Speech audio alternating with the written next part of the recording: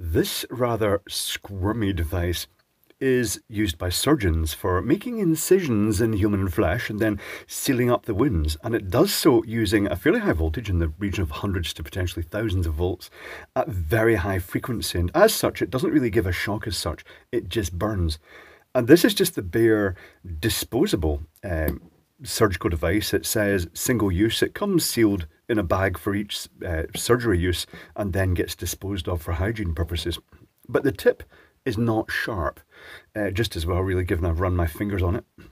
But when you push the top button here, cut, when it's connected to the machine, it will pass a high enough current that it will actually cut cut the flesh. And the advantage of this over a traditional scalpel is that the scalpel, as soon as you cut it, blood will be flowing everywhere. This effectively uh, cauterizes the cuts, but you also have another button called coagulate, coag, which uh, can be used to actually stop uh, things bleeding just by running over the surface. And what that does, it runs at lower power.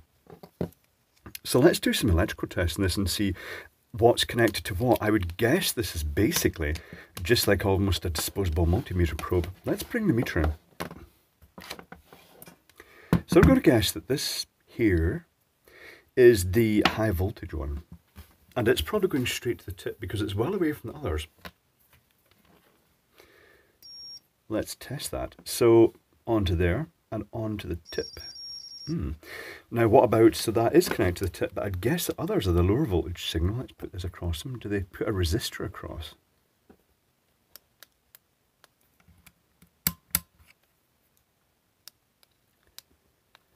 Nope, maybe higher value resistor. I don't think I'll be using the other one as a common. Is it using the other one as a common? The high voltage one? Oh, it is. So uh, that is now on the common here, which goes to the tip of the diathermy pen. And this is on one of the connections, other connections. Is that just a button per connection? Oh, that is just a button to that one. So that's the cut button, is this connects this to this. And this, is it going to be the same for the... It is. I didn't expect that. I suppose it makes sense in the sense that you've got a fairly high voltage, high current come out, so the circuitry would have to be able to actually withstand that. Maybe it's got opto-isolators or something just to give it good separation because it's quite nasty voltages and frequencies. So that is basically common and then the two buttons going to the common which also goes to the tip and does all the burning. Let's see if we can spudge this open. I don't think there's going to be a lot in it. It is really designed to be disposable. Is it welded shut in some way? I think it is. I shall bend it. Is this going to help? Have they glued it shut? I suppose given it's for surgery, they don't really want it filling out with blood, do they? Ooh, gruesome. Let's uh, try and get a screwdriver in here. At some point I am going to stab myself here and then wish I did have a cauterizing pen to actually deal with it. So that is kind of opening up. Okay, we're getting there. I think it is glued. Hmm. Let me grab a pair of side cutters. Where's my Knipex? Oh, there we go. Oh, okay. This one has not been used, I'd like to say. It has not been exposed to blood. It's very simple. Oh yeah, it's just, it's not even switches as such. It's a, a pre-made circuit board. Let me zoom down this. It's just a circuit board with the three connections coming on and two little sellotaped on tactile discs and then the connection going to the output. The black, which they've got as the common, is actually a burning tip. Uh, the other two are going straight to the buttons. Uh, no, is that right? No, it's not right. I'm wrong. Red is going right up the middle to the tip here. Hold on, let me get my meter. It's covered over by printing.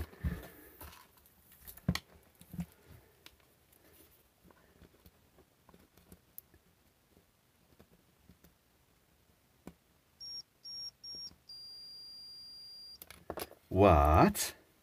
hold on. The sellotape is not helping here. Let's pull. Let's pull the tape off. It's so strange to see something like this just stuck together with tape. Ultimately, it is a disposable item. It's it's what it does. It's the, all the circuitry, all the complexity is in the unit that actually does the high frequency RF energy stuff. Oh, that's stuck on super well. Onto the cheap uh, SRBP, synthetic resin bonded paper type circuit board. It's very cheap inside, but you know, it's what it does. It's what the bit that really matters here. Yeah, I'm not doing very well here. I, I'm kind of regretting not pausing for this bit, but not to worry. I think we all know the gist is the two buttons held down with sticky tape. I just wanted to check, check what the connections were. I'm just faffing around, am I, really? Is this even going to help? So I'm guessing that when they put this together, this gets... Oh, can you unplug that then?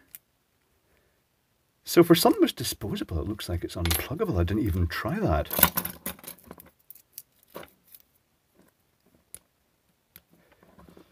So let's pick those little discs off.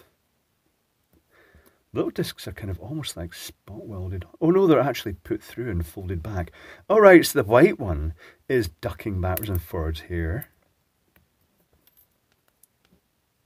The white is the common. It's coming down, connecting to the outer disc, and then it's going down to the outer disc again, and then it's going to the tip. And the red and the black are the signals back.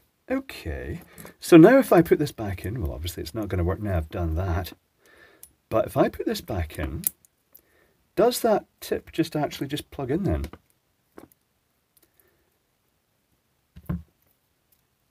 Get the tape off it.